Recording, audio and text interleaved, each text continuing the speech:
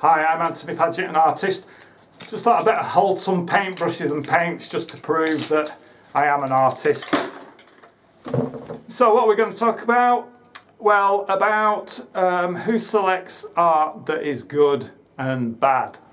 Uh, once upon a time we had standards and uh, formal structures in painting and this meant that critics could say why something followed the golden rule or had chiaroscuro, light and dark or perspective. And however in the 20th century this was all thrown out of the window with the introduction of modern and contemporary and postmodern art and things became more about the meanings.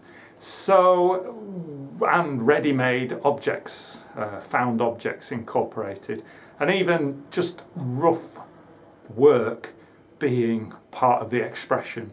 So it's now impossible to tell what is good and what is bad because the systems haven't been created. And you can do this through artificial intelligence. Computers can create artworks and they can also decide what is good and what isn't what is bad.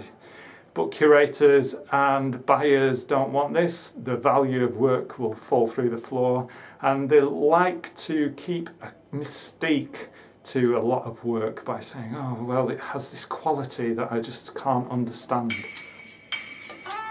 Sorry, my alarm. So, because of this, it means that there's a lot of subjectivity involved. So the people selecting the art, it's based on their subjectivity and surprise, surprise, it's white, middle-aged, rich men doing the selecting. And this leaves all kinds of minorities not collected or if they are collected it's quite tokenistic. So I'm calling for a root and branch reform of art and the way it's selected and evaluated. And a lot of the art today is just repetition of art that's been done already. But people aren't keeping a track, so they don't know it's just something that was done 50 years ago 70 years ago or even five years ago.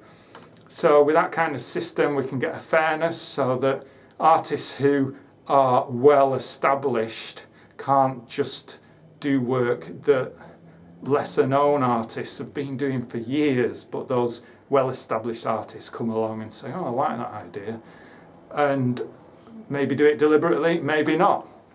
Pablo Picasso said uh, something about uh, a good artist copies and a great artist steals. Well, I'd say an even greater artist recognises their sources and attributes value to the artists that have gone before them. If you like the uh, little ramblings and uh, my uh, little short film, please click like and I'll make some more. And uh, remember that if you uh, want to join a union, artist union, then there is the Artist Union England, and there's plenty of other unions around the world. And we're all, one way or another, working to create a better art world.